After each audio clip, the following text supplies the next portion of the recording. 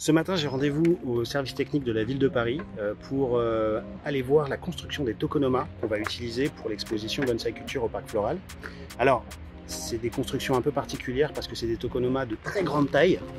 Euh, et donc, ce sont les services techniques de la ville de Paris qui les construisent.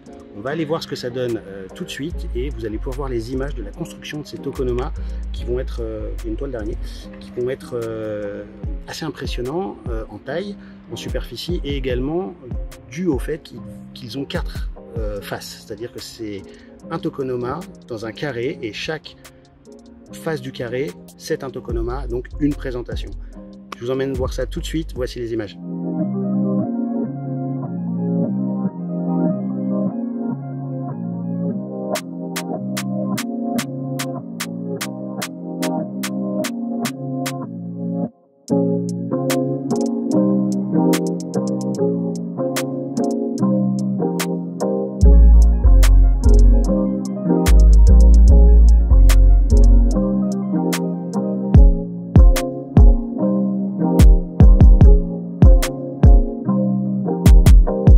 Et au niveau justement du fait qu'il soit euh, coupé en deux, chaque face euh, est coupée en deux, au niveau de la fixation, tu vas faire comment après? On a pu voir avant, il a une découpe à l'arrière pour qu'on puisse passer la machine, la visseuse, pour réunir ces deux panneaux-là jonctionnés ensemble. D'accord. Vous êtes en train de faire la création de la trappe La création d'une trappe qui sera à l'arrière, donc qui ne sera, qui sera pas visible, mais nous qui va nous permettre d'accéder pour fixation des roulettes par l'intérieur et pour assembler les deux modules ensemble euh, en partie D'accord, ok, ok, ok.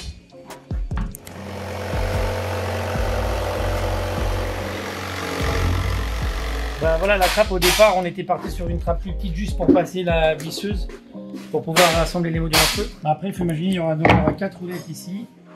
La structure, elle va debout comme ça. Ouais. Et on a à peu près 2 cm entre le sol et notre panneau. C'est bon C'est bon pour toi Et ces trappes-là, vous les avez faites sur les quatre Enfin, sur les... Bah non, du coup, ah, c'est la première qu'on vient de faire aussi grande. Eh, d'accord. On les avait fait, mais plus petites. D'accord, ok, ok, ok. C'est vrai que de boulonner, un pic de boulonner. Ouais, bien sûr.